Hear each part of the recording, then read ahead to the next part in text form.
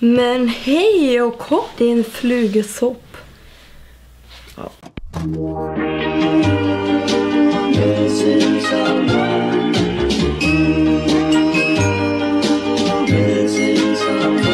Missing someone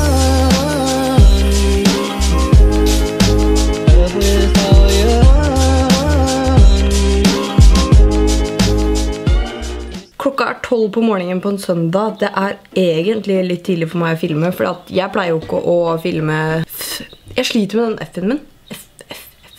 Ja, jeg sliter eh, litt med å filme når jeg er sånn på dagen. Jeg liker best å filme når jeg er sånn It's like 6 p.m. Jeg skal knerte en Red Bull, og så skal vi starte for at eh, jeg har allerede drukket en iskaffe, men jeg kjenner at det holder ikke i dag.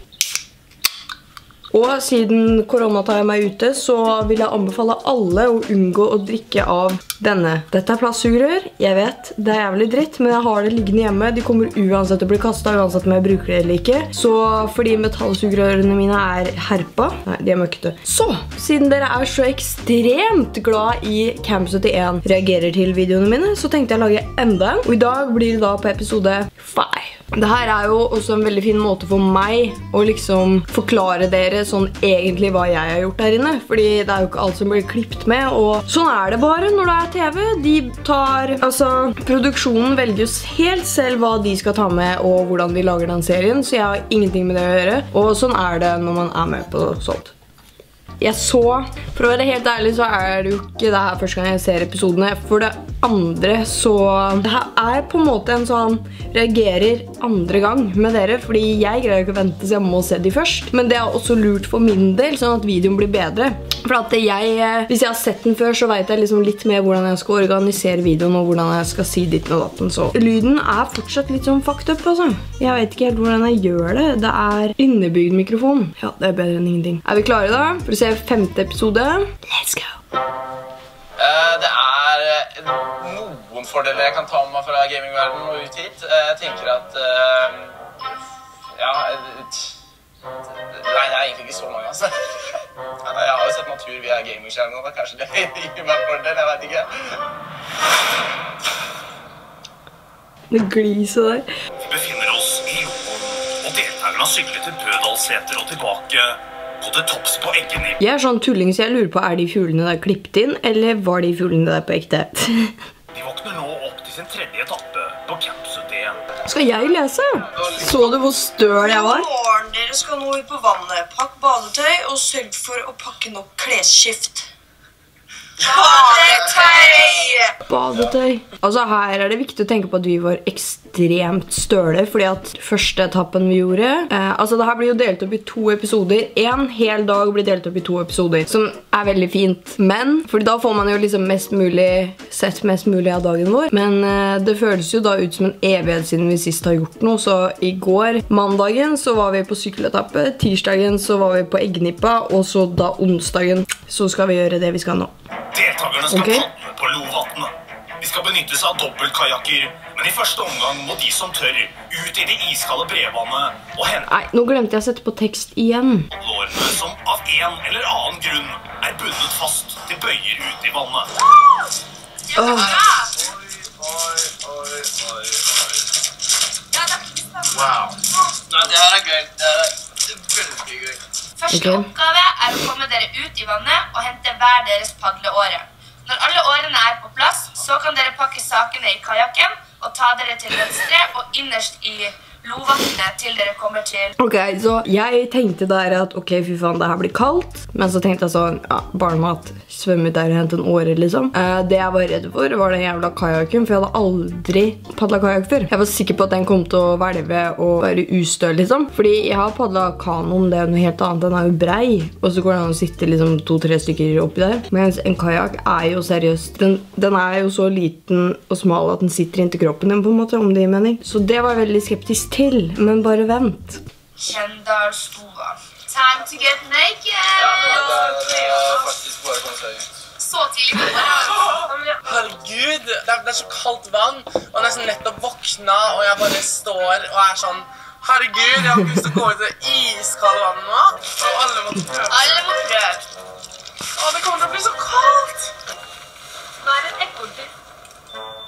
Det ser så ukomfortabel ut baki der. Se på den rotta der som står der og stive nipler som faen og bare lurer på kan vi bli ferdig. en liten innskrumpa snegle. Kall det hva du vil. Doesn't look good. Jeg har følt meg som en pingle i to dager. Jeg er selvfølgelig litt stressa og litt redd for hva gruppa tenker om meg. De andre føler nok på at eh, jeg er en liten sånn eh, kjerring bak. Det her er faktisk veldig sterkt å se. Det er veldig koselig å se. da.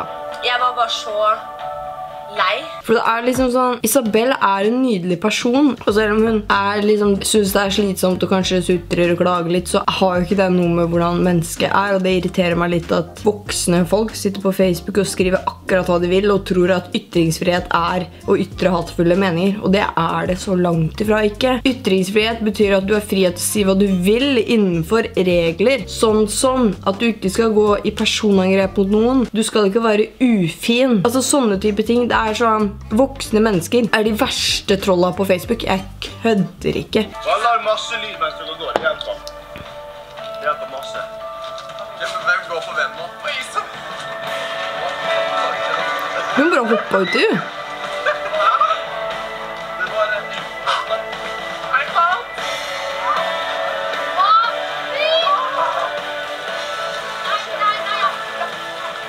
Så jeg i det hele tatt skal begynne å kle av meg og ta på meg bikini, og sånne ting, så kan jeg likevel bare gå all in.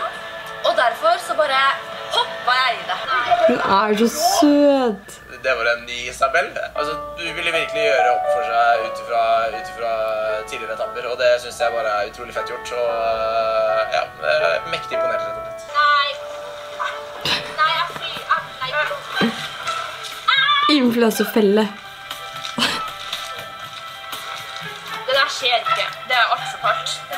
Så jævlig at jeg mister følelser i beina.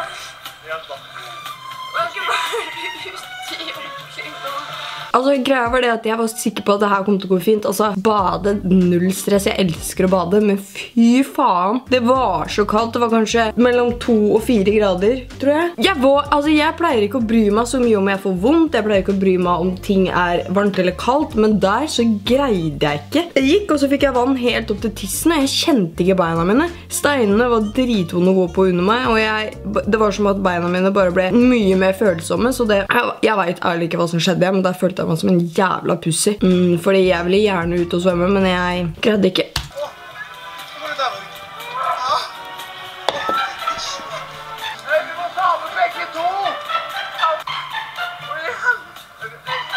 Fy faen, Magnus, jeg elsker deg.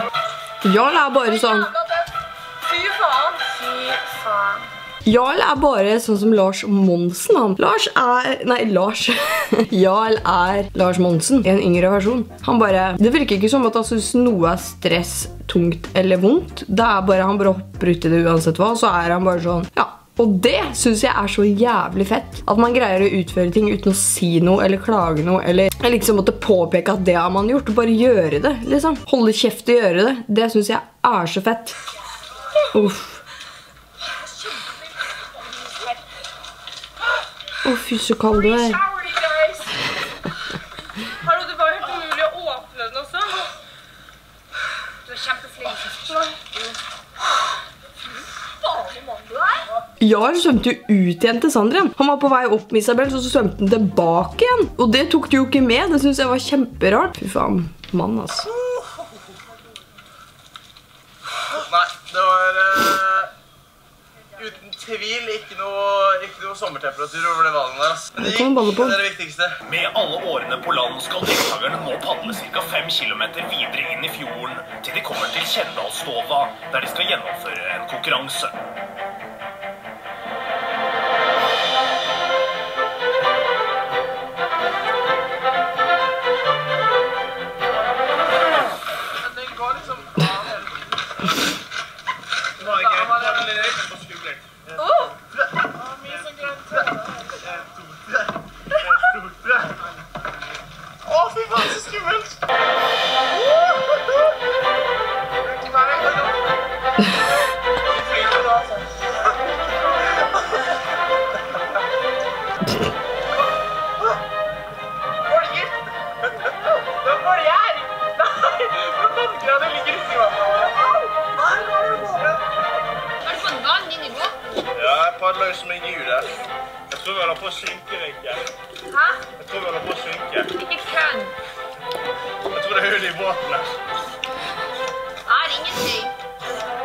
det jeg må styrt? pumpe som en gal her. Hva er det du styrer deg, Markus? Å, herregud! Ja, hvis du skulle hatt stemmen til en reklamefilm over dette miljøet her, hva hadde du sagt da? Velkommen til Norge. Dette er Norge på sitt beste. Se så fin norsk natur er. Du vil komme her. Du vil besøke Norge. Se på Norge. Velkommen til. Velkommen til Norge. Så søt du er. Ser du flagg? Ser et flagg ved huset? Jeg høres og ser ut som jeg er 15 år. Hvorfor? Vi ser et flagg ved huset. Jeg blir veldig liten når jeg er med folk jeg ikke kjenner, tror jeg. Så godt, eller med mennesker jeg ikke kjenner så godt. Hvor det på en måte er en Altså Når det er snakk om TV, når du er med på sånt her, så er det litt sånn at alle vil være med på TV. Alle vil si noe. Alle prøver å spytte i noe. Alle prøver å liksom få mest mulig TV-tid. Ikke alle, da, men eh, noen. Og jeg hadde ikke lyst til å være sånn. Jeg gidder jo ikke å late som at jeg er noen jeg ikke er av at jeg skal være med på et TV-program. Det er liksom Jeg syns det er viktigst å være meg sjøl. Og jeg gidder ikke da å få TV-tid på et uærlig vis. Sånn er ikke jeg. Å, det var så koselig. Magnus og jeg kosa så jævlig på den turen der. ass. Men vi hadde det mest gøy på vei hjem. Ja, der er det noen konkurransegreier, vet du. Right. Denne konkurransen går ut på å løse ut brikken med Camp 71-logoen ved å flytte på klossene som frigjør brevluka. Men uh, det er brain Er det ikke brain? Det er IQ-test. Det er brain, ass. Jeg står bare sånn og myser. Jeg synes jeg ser så, For det første syns jeg bare ser stygg ut ved siden av de andre. Fordi jeg vet ikke Jeg bare kjørt på med mitt naturlige utseende jeg hadde. Uten å vippe ned, så klart. Jeg vet ikke. jeg føler, Når jeg ser på denne serien nå, så kjenner jeg meg ikke igjen i meg selv. Fordi For det første så er det såpass lang tid siden det er filma. Det er så jævlig mye som har skjedd på nesten et år. Med meg personlig. For det andre så er det jo klippa litt sånn at jeg ikke sier så mye. og sånn. Sånn er det bare. Jeg får ikke gjort noe med det. Men de klipper jo sånn som de vil, og jeg sier jo mer og mer for hver episode. Eller det på en måte i hver episode sier jeg mer. Men, men jeg bare jeg føler Når jeg ser på meg selv nå etterpå, så kjenner jeg meg ikke igjen. Fordi at jeg var så jævlig usikker og så jævlig sånn teit der. Jeg var ikke usikker, men jeg overtenkte så mye. Hadde jeg vært med på det nå, så tror jeg hadde sagt mye mer og vært mye mer åpen for å bare gi faen i, i hvem som skulle snakke når, og bare prata, holdt på, hoia, bare sluppet meg litt ordentlig løs. da, fordi her så føler jeg at jeg bare driver og trår på stylter og er litt sånn redd da, for å drive og knuse eggeskall og du vet. Men jeg er jo egentlig ikke så sjenert i virkeligheten. Jeg er sjenert, og jeg er litt sånn usikker i starten, men det tar faen ikke lang tid før jeg ikke holder kjeft, altså. Jeg har alltid trodd at jeg er veldig sånn usikker og sjenert. Når jeg møter nye folk, så sier de alltid at jeg trodde ikke du var sjenert, og du virker ikke sjenert i det hele tatt, og du virker superutadvendt. Så jeg håper jo at jeg er mer sånn som folk sier jeg er, og ikke sånn som det kan se ut som at jeg er her, eller sånn som jeg har sagt sjøl. Jeg er bare en person som ikke vil ta så veldig mye plass. Og da er det litt vanskelig å føle at man kan slippe seg løs og prate og hoie når man fort kan ta stor plass når man- gjør det, da. Men eh, jeg kan ikke gjøre noe med det nå, hvordan jeg eh, var der inne, men jeg syns bare det er litt gøy å se hvor mye jeg forandra meg, både utseendemessig og personlighetsmessig, da. For jeg vet at den her, det i 2019 var et slitsomt år for meg. Starten av 2019 i hvert fall. Så det er veldig rart å se hvor mye man kan vokse på et år. Nå er det kanskje ikke så lett for dere å se hvor mye jeg har vokst, men for meg så er det veldig lett å se. På 20 minutter løs ut brikken med Camp 71-logoen gjennom brevløkken i toppen ved å flytte på brikkene som ligger ut. Det er ikke lov å løse på brikkene, de skal kun skyves ut. Tidsbruken avgjøre rangering og poengfordeling fra Fy faen, 1 til 6. fuck det der. Tida overskrider 20 minutter, får deltakerne null hver. Tenk så gøy det hadde vært hvis bare jeg hadde greid det der. liksom. Jeg har tenkt så lenge på faen, faen, faen, faen. Om jeg bare hadde greid det, så hadde jeg liksom kommet Tenk det, da! Jeg hadde vært liksom den smarteste av de den dagen. Alle, altså Det er jo ikke noe vimse for. Alle, Det var jo ingen av oss som greide det. Og det her tar så lang tid. altså Det klippet her med Jarlo og Sander tar Tror jeg må spole litt over det, faktisk. Da er de i gang. Relativt kort tid på Den der foranalyseringa, syns jeg, Sander. Begge kanskje tyvärr litt for overivrige. Her går det veldig fort. Her er det brikker pang, pang, pang. Sorry, det tar så lang tid. Ja, jeg spoler det. men De har jo faen meg tatt med ti minutter av de to der. Det gidder ikke jeg å se på.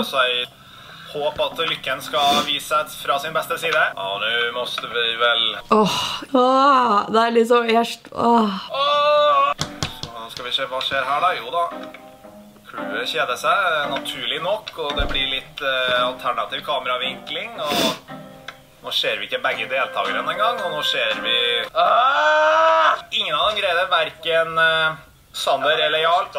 Nei, vi gjør ikke det. Jo, det går fint. Hvordan skal dere ta den når dere har null poeng? Jeg personlig har jo ikke noe konkurranseinstinkt, så om jeg vinner eller taper, så er jo det samme for meg uansett. Men jeg bare skjønner ikke hvorfor man ikke bare kan være glad på andres vegne når andre vinner. Istedenfor å være sånn dårlig taper av en drittunge. Jeg synes liksom, Jeg har alltid hatt noe imot dårlige tapere. Eller liksom generelt det at en person er dårlig taper, det har jeg alltid hatt noe imot. Fordi at familien min det er omringet dårlige tapere overalt. Og jeg synes det er så flaut å se på når de blir sure eller setter seg under bordet og griner.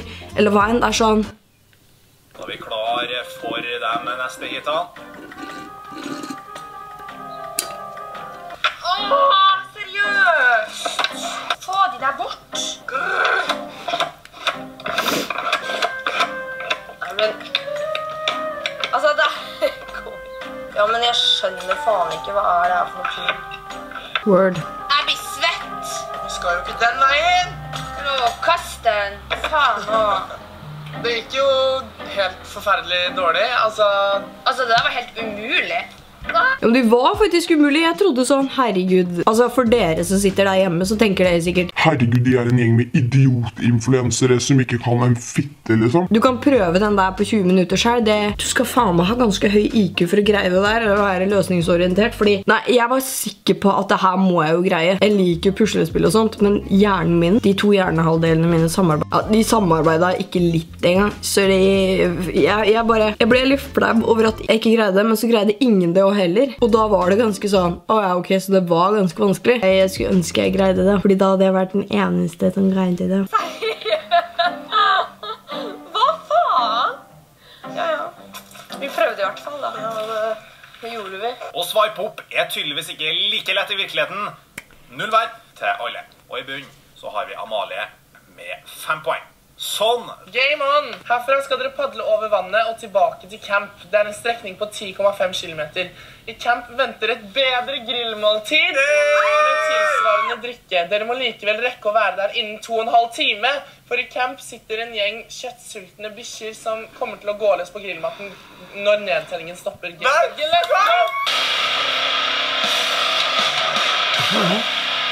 Så kjette jentene de var. De bikkjene er groteske. De er svarthåra, de har røde øyne, de frosser blod. Fordi de spiser biffen vår hvis vi ikke kommer der i tide. De ser jo bare søte ut. Se på dem.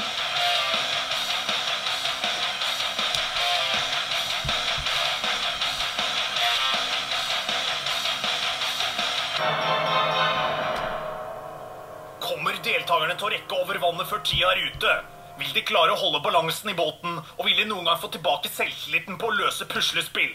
Følg med videre på Camp 71.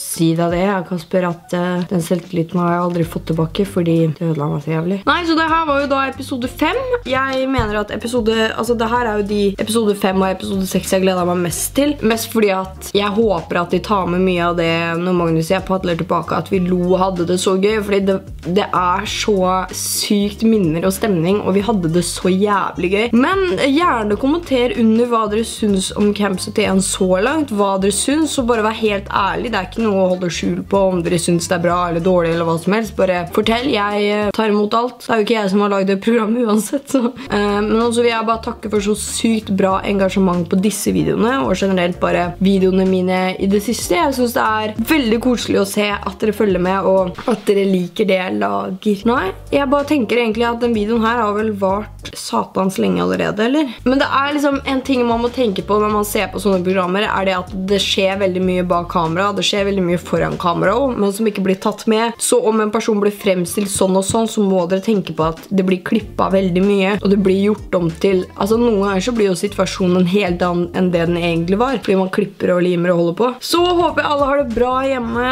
Håper vi snart kan komme tilbake til normalen igjen, men som sagt, da er det avhengig av at du holder kjeften igjen og hører på reglene og anbefalingene og forhåndsreglene. Ja, da håper jeg bare du likte denne videoen. Så ja, jeg håper du likte videoen. Og hvis du gjorde det, så gjerne legg igjen en like. Og husk å abonner på kanalen. Det er helt gratis, og det hjelper både meg og er en fin ting for dere også, så dere får med dere videoene mine i fremtiden. Da håper jeg du likte videoen, og så snakkes vi i min neste. Ha det bra!